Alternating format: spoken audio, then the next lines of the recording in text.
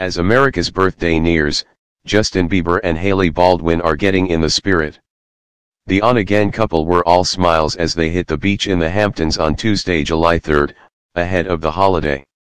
Bieber and Baldwin held Starbucks cups and matching towels as they strolled beachside kicking off the 4th of July celebrations. The Friends crooner, 24, and the 21-year-old model's outing comes one day after their car broke down in Montauk, New York, while en route to the Hamptons. An eyewitness told that the pair looked a bit concerned at first, but after realizing they were safe, they ended up smiling and laughing about it.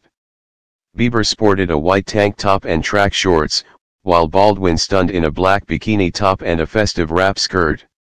The duo didn't try to hide their romance as they chatted with fans and posed for photos.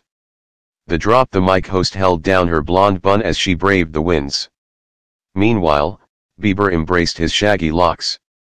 Bieber and Baldwin searched for a place to settle down on the sand. The couple shared a laugh as they hung out on the beach. Super relaxed. The Love Yourself singer and the blonde beauty looked totally chill as they reclined on their towels.